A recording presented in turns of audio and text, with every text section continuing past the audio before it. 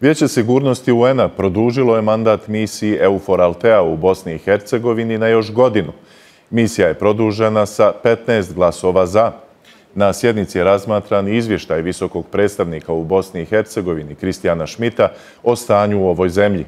On je izvijestio da Bosna i Hercegovina nije iskoristila zamah na putu evropskih integracija koji je postigla na početku godine, zbog čega kasni za drugim državama u regiji. Velika Britanija izrazila je zabrinutost zbog politike secesije Republike Srpske, a SAD su poručile da će koristiti sve instrumente da ne dopuste podrivanje Dejtonskog sporazuma.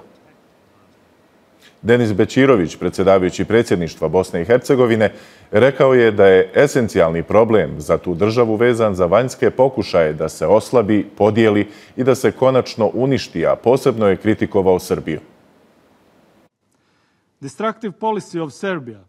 Destruktivnu politiku Srbije slijede vlasti entiteta Republika Srpska. Nedavno su u nastavne planove i programe osnovnih škola uveli sadržaj koji veliča osuđene ratne zločince Radovana Karadžića i Ratka Mladića. Oni nisu heroji, oni su osuđeni ratni zločinci koji su proglašeni krivima za genocid, zločine protiv čovječnosti i druge ratne zločine. Dame i gospodo, vlasti Republike Srpske opasno prijete temeljima Dejtonskog sporazuma. Javno se zalažu za jednostrano metanje Dejtonskog sporazuma, obnovu zločinačkog projekta Velike Srbije, uništenje države Bosne i Hercegovine i kršenja međunarodnog i domaćeg prava.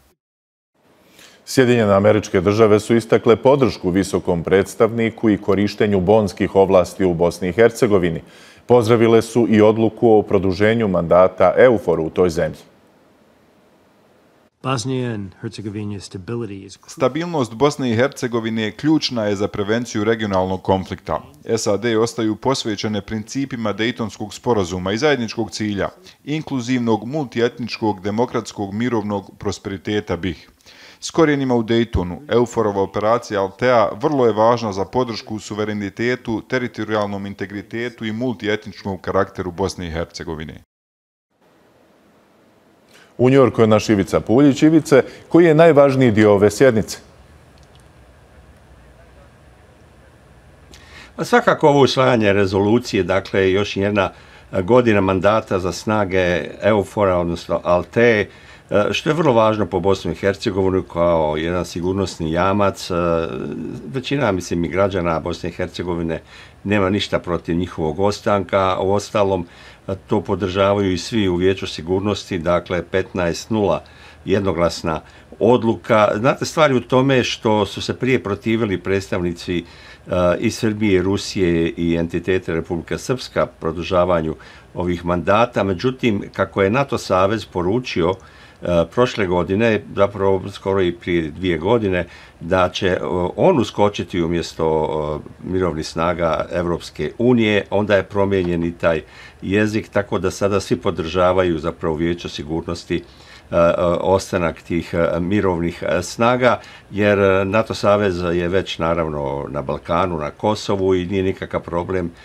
da se prebace neke snage, na kraju krajeva Bosna i Hercegovina je sada okružena i Hrvatska je u NATO saveznu i Crna Gora je u NATO savezu, naravno i sve okolne zemlje zapadnije od Drine. Prema tome jedna potpuno nova situacija je dobra vijest za Bosnu i Hercegovinu da ove mirovne snage ostaju. Što se može posebno e, izdvojiti iz rasprave članova Vijeća sigurnosti? Pa može se izvojiti to da smo vidjeli jedan žestok sukob na relaciji predstavnik, bolje rečeno, predsjednik predsjedništva BiH, Deris Bečirović i e, uh, odpravni poslova uh, misije Srbije pri Ujedinim narodima Saša Mart, koji su nastupali nakon što su govorili članovi vijeća sigurnosti. Neki od njih smo već čuli, samo bih rekao da je ruski e, ambasador naglasio da ova misija Alte se ne smije miješati u unutarnje poslove Bosne i Hercegovine, onda je po običaju zastupao stavove entiteta Republika e, Srpska, što smo već e, navikli od njih, a sve ostale zemlje su, e, zapadne zemlje osobito pozvale na opstanak OHR-a za razliku od Rusije koje traži zatvaranje, pa i Kina zapravo e, nije ima ništa protiv e, današnjim izjavama da se zatvori OHR, ali ostale, ostale zemlje daju potporu Kristijanu Šmitu kao visokom međunarodnom predstavniku, posebno Sjedinjene države Velika Britanija i Francuska.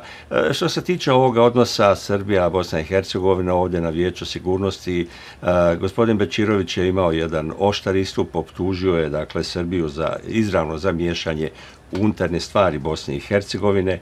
On je rekao da organi vlasti entiteta Republika Srpska opasno ugrožavaju temelje Dejtonskog sporazuma i oni javno zagovaraju, citiram, to je rekao gospodin Bečirović, unilateralno destruiranje Dejtonskog sporazuma, obnovu zločinačkog projekta Velike Srbije, uništavanje države Bosne i Hercegovine i kršenje međunarodnog i nacionalnog prava, a za Srbiju rekao da rukovodstvo te zemlje se agresivno miješa unutrašnje poslove Bosne i Hercegovine kao i nekih drugih zemalja u regiji. On je rekao da je dokaza ovakvu njegovu tvrdvu nedavno usvojena deklaracija, eh, kako je rekao, takozvanog Srpskog sabora u Beogradu u šestom mjesecu ove godine.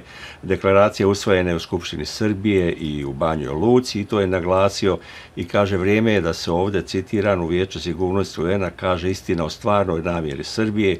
Suštinski cilj rukovodstva Srbije postepeni anšlus, dakle pripajanje entitete Republika Srpska u sastav e, Srbije. Na to je žestoko e, reagirao e, opravni poslova Srbije u UN-u Saša Mart, koji je rekao da je Srbija valjan partner Bosni i Hercegovini, da podržava teritorijalni integritet Bosne i Hercegovine, nije spominjao suverenitet, tu riječ nismo čuli, i da podržava Bosnu i Hercegovinu ka evropskom putu. A onda je rekao da je Denis eh, Bečirović halucinirao i da je onda spominjao rezoluciju o Srebrenici koja je usvojena na općoj skupštini u petom mjesecu ove godine, dakle da je Bečirović halucinirao i da e, Srbija ne želi gledati u prošlost nego u budućnost. Njemu je onda odgovarao e, i, i ambasador BiH u Vijeću sigurnosti u UN-u Zlatko Lagumđija, koji je rekao da Srbija krši međunarodno pravo e, i ponudio je svima na uvid deklaraciju tog Svesrpskog sabora, ohrabrio je srpske diplomate da podijele tu deklaraciju i rekao je da je to zapravo, da je vidljivo da je to projekat stvaranja velike Srbije koje je ranije odveo mnoge na Haški sud, e, osobito odnosno uključujući genocid U Srebrenici gospodina Gumđa je kazao da je stvaranje ekskluzivnog teritorija u Evropi utemeljen na nacionalnoj pripadnosti, apsolutno je to neprihvatljivo. Dakle, to su ti, ti glavni detalji, podrobnosti ovog e, sjednice vijeća sigurnosti, a vjerojatno će reakcije biti žestoke i u Sarajevu, i u Brselu, i u Beogradu. Ivica, hvala na novim informacijama iz Njorka.